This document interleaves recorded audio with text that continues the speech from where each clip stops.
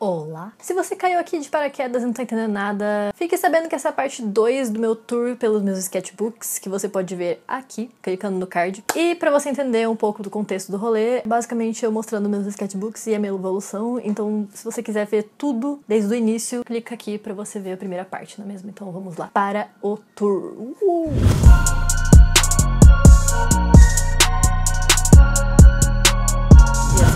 De coisas mais bonitinhas. Essa Pearl que eu copiei, a maioria aqui é cópia. Ah, eu desenhei Jutjut. E esse aqui deu muito trabalho e eu gostei muito do resultado. Eu ainda gosto, porque dá pra reconhecer que é ela. Então, daqui eu fiz pra treinar o cabelo. Esse cabelo do trabalho. Desenho de rosto, esse daqui também foi pra treinar o rosto. Tudo a partir de foto, eu fiz a partir de foto também. Gosto muito desse. Esse aqui também foi estudo, mas eu gostei muito de como ficou. Ametista, claramente, não sou nem um pouco viciada em Steven Universe. White Diamond, Marceline. E esse que eu fiz em 2019. Eu gosto muito desse desenho até hoje, porque quando eu fiz eu não achei que fosse ficar tão bom, mas ele ficou. E aí eu fiquei feliz. Esse aqui eu tentei fazer a roupa só, mas aí eu fiz o resto e ficou meio estranho. Basicamente tem os meus desenhos que eu gosto mais, na verdade, essa pasta né, inteira. Mas todos esses foram feitos em 2019. Sempre põe a data nos seus desenhos, porque isso é muito útil mesmo, assim. Depois você quer lembrar quando você fez, a data tá aí pra isso. Ah, aqui. Esse aqui eu gostei muito de como ficou, apesar de não ser criação minha. Eu só copiei, mas eu gostei muito muito da, do jeito que fica o pano, né? Pano é muito difícil de desenhar e eu gosto muito de copiar desenho assim, porque eu meio que tenho uma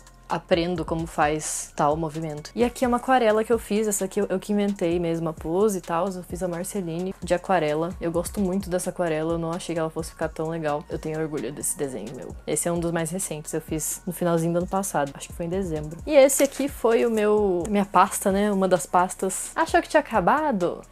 Achou errado, otário? Então, ainda tem esses todos. Assim, em dois anos eu usei tudo isso de sketchbook, sim. Esse aqui eu ainda tô usando, ainda tá em uso. E esses todos aqui, eu acho que eu terminei eles. Ah, esse daqui não terminei, mas ele também tá em uso, só que eu tinha esquecido dele. Vamos começar com este. Esse aqui é o primeiro sketchbook que eu tive desse tipo, que eu ganhei quando eu me matriculei no curso de desenho. Primeira aula de todas de desenho. O professor deu um desenho pra eu copiar e eu copiei, só que ele não ficou nem um pouco parecido. Também no meu primeiro dia, né? Aqui um simbazinho que eu fiz pra treinar também. A maioria dos desenhos desse sketchbook foram estudos, então muitos deles não foram criados por mim. Esse daqui eu gosto muito também, é o Wort de Over the Garden Wall. Se você não assistiu esse desenho, assista, porque ele é muito, muito foda, muito bom, sério. E aqui é um Simba que eu fiz, que eu copiei, fiquei orgulhosa quando eu terminei esse desenho. Uma pena que ele manchou. Um Baymax. Ah, eu nem lembrava desse. É que, assim, eu tô vendo esses desenhos depois de um tempão. Fazia muito tempo que eu não via os meus primeiros desenhos, então tá sendo uma jornada também. Aqui foi um extintor de incêndio que eu resolvi copiar da vida real mesmo. O Sour Cream e o Doofenshmirtz. Eu não pus data nesses desenhos, esse é o problema, mas eu tenho quase certeza que foi 2018 esses todos aqui. Vamos pular um pouco pra 2019. Aí eu peguei uns moldes no Pinterest, e porque fazia tempo que eu não desenhava nessa época. O Kitajuzu acho que foi praticamente no mesmo dia ou na mesma semana, mas é porque fazia tempo que eu não desenhava, eu tava ficando injuriada. Aí eu fiz esse. É bom pra você ter noção de proporção, essas coisas. Esse aqui eu gostei muito de como ficou. Aí teve este, que eu também gostei. É esse daqui eu fiz, mas eu não gostei do resultado. Prozinha, mãos. Mãos são difíceis, gente. Mãos são muito difíceis. Ó, oh, tudo. Esse aqui, eu desenhei a roupa e fiz o resto do vestido eu copiei do Pinterest. É um vestido de verdade, no caso. Eu gosto de pegar foto de roupa e, e pegar de referência, porque é muito bom pra você criar roupas novas. Isso é muito importante. Rose essa aqui eu acabou virando uma fanart no meu Instagram de desenho, vou colocar aqui. E eu gostei muito.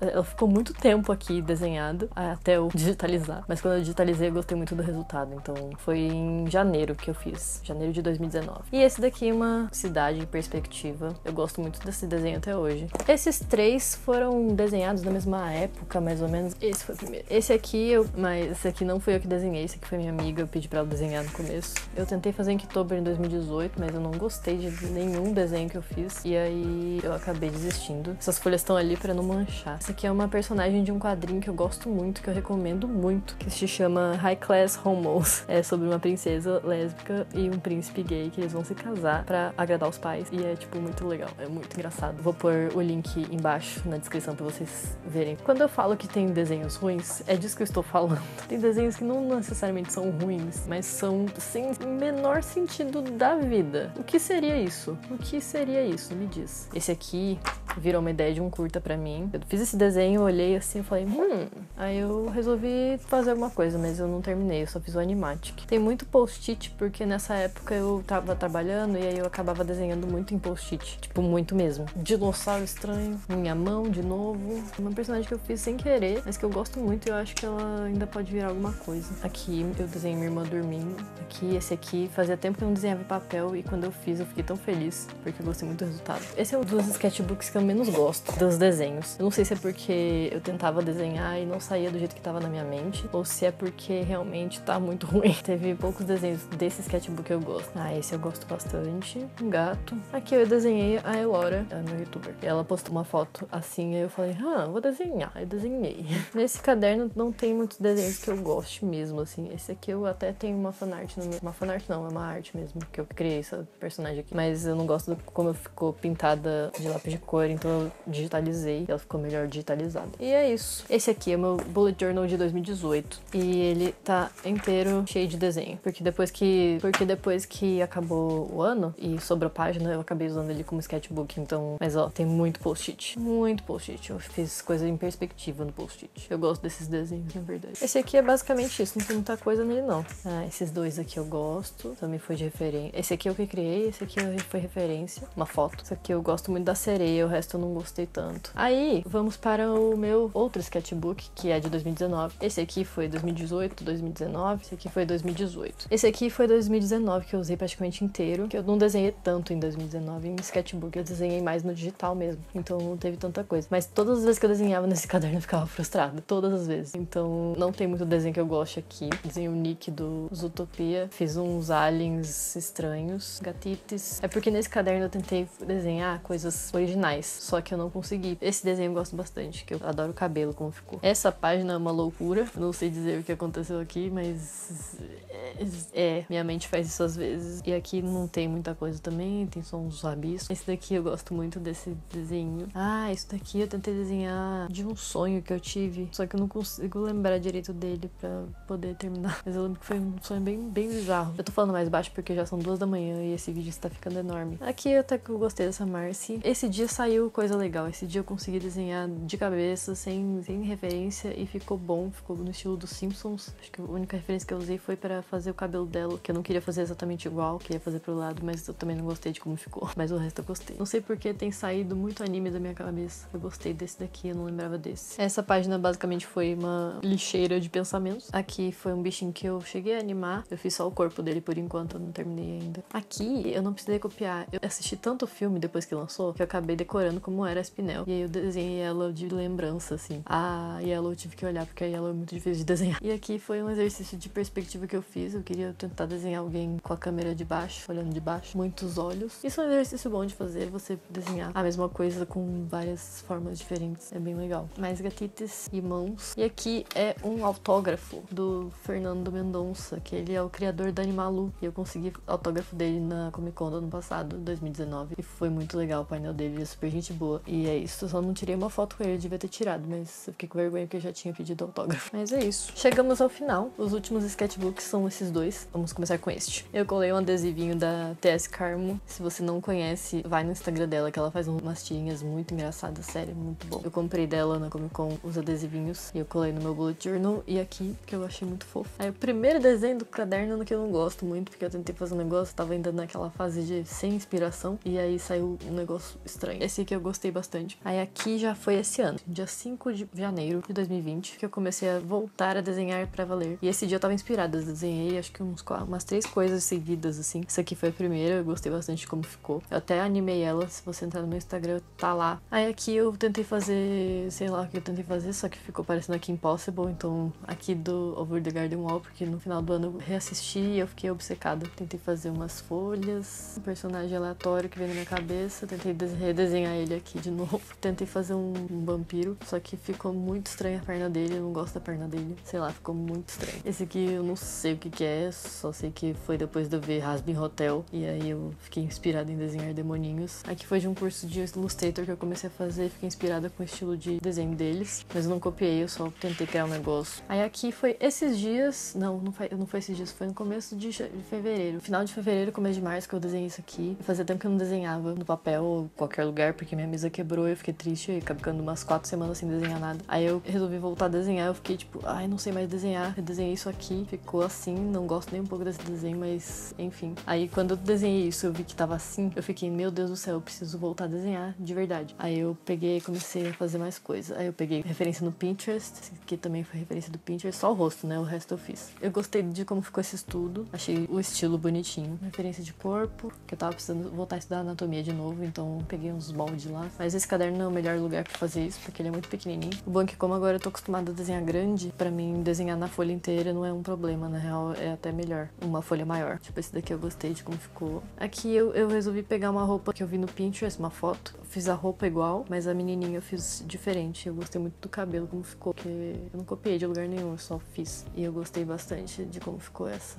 Aí entra outro desenho que comecei a assistir que se chama The Owl House. É muito bonitinho, esse desenho é novo, tá lançando ainda a primeira temporada. É da Disney. Me lembra muito Gravity Falls, só que numa pegada um pouco diferente, sei lá, é meio. E aí eu fui procurar a arte da criadora da série. Acabei adorando o estilo dela. Aí eu acabei pegando alguns estudinhos, tipo esse daqui que eu vi assim. E aí eu adorei o jeito que ela faz as coisas. Aí aqui eu tentei fazer umas poções, mas não gostei. Aqui são personagens da série. Essa personagem é a melhor eu adoro ela. Aí aqui é de um mangá. Não ficou assim perfeito, mas eu gostei bastante do resultado de como ficou para um estudo, assim. Aqui também tudo estudo. Eu gostei muito de como ficou esse. E aí esses estudos me deram um gazão, assim, tipo, para voltar a fazer as coisas com tudo, sabe? E esse aqui é o último desenho que eu fiz. Esse aqui foi de estudo também. Esse aqui eu acabei transferindo pro grandão, porque eu não gostei nada de como ficou aqui. Mas aí acabou esse caderno e eu vou abrir esse. Aí aqui mais um estudinho da criadora do The Owl House. Aí aqui são criações minhas, que eu quis desenhar roupa. E aí eu meio que. Essa aqui eu tô muito orgulhosa, na real, de como ficou essa camisola. As dobras. É muito difícil fazer isso. Aí aqui foi uma referência de roupa do Pinterest também. Acabei fazendo a menininha, porque não tinha rosto. De primeira eu não tinha gostado muito, depois eu olhei de novo até que ficou legal. Porque eu achei que ela ficou muito compridona, mas sei lá. Aqui uma personagem que eu criei depois que eu vi The All House.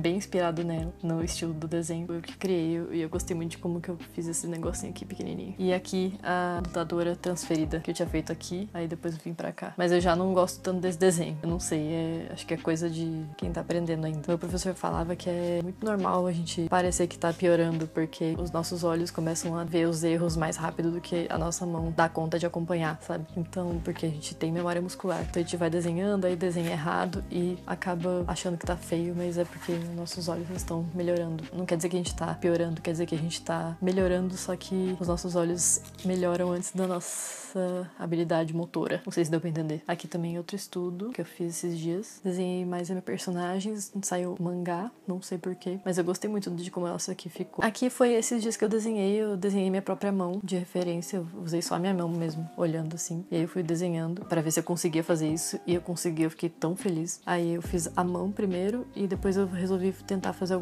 alguém em volta e ficou isso e eu gostei bastante de como ficou. Aqui também minha mão, essa aqui foi a primeira na verdade, por isso que ela tá um pouco mais torta que as outras. Aí aqui eu tinha feito uma sereia e aí depois eu alterei o rosto, que ela tava sem rosto e sem mão direito. Aí eu coloquei uma bolinha e umas mãos melhores. Isso daqui é que me dá gás, entendeu? Quando eu consigo fazer um negócio assim. Aí aqui mais estudinhos que eu vi da Jasper que a Rebecca Sugar postou e eu resolvi tentar fazer porque panos é difícil de desenhar, mas eu acho muito bonito. Mais mãos, fazendo muitas mãos ultimamente, porque mãos são importantes de desenhar e mãos são muito difíceis de desenhar. Então, quanto mais você treina, melhor. Fiz uma corujinha e peguei referências da Rebecca Sugar de novo, do estilo dela, com a Marceline, para fazer uns estudos, porque o que mais me atraiu inicialmente no desenho foi o estilo da Rebecca Sugar, porque é muito diferente, é muito fluido. Esse aqui foi eu que fiz mesmo, tentando reproduzir o estilo dela. Não sei explicar, é, é, é diferente. Aqui eu desenhei, acho que ontem ou anteontem, sei lá, e eu tentei fazer nesse mesmo estilo que, que ela faz.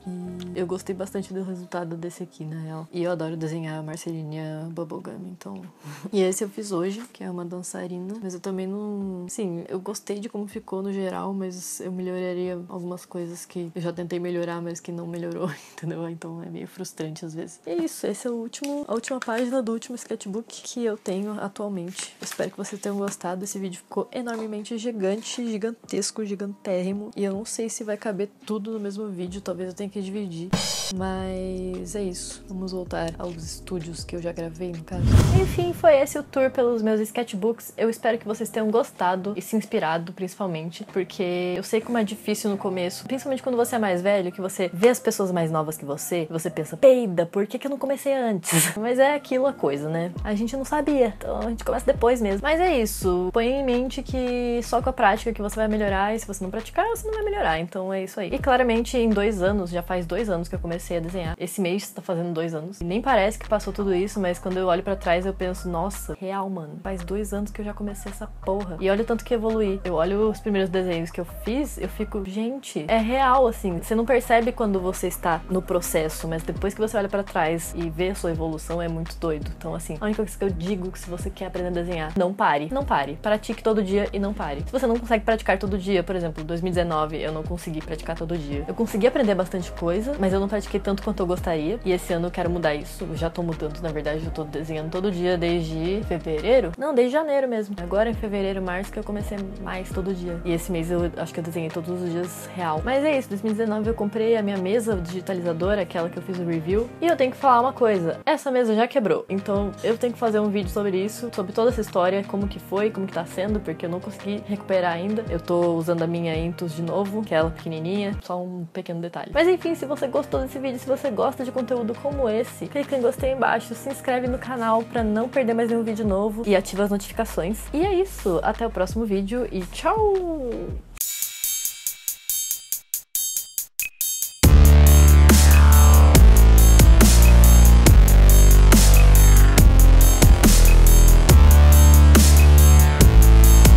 Eu acabei de me tocar que já faz tanto tempo que eu não gravo que o último vídeo que eu postei, eu nem tinha essa tatuagem ainda. É um bimo da hora de aventura.